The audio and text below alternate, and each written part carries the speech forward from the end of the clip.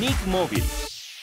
Estamos en la rueda empresarial de los estudiantes de octavo grado. donde ponen en práctica todos los conocimientos de emprendimiento empresarial. Vamos a ver algunos de estos proyectos. Cuéntenme de qué se trata este proyecto. Bueno, esa es una máquina purificadora de agua.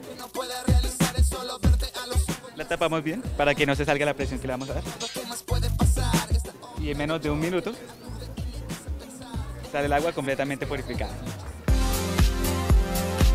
Estamos aquí con el grupo de estudiantes que ganaron el concurso en Londres. Aquí está Sara que nos va a contar un poquito más del tema.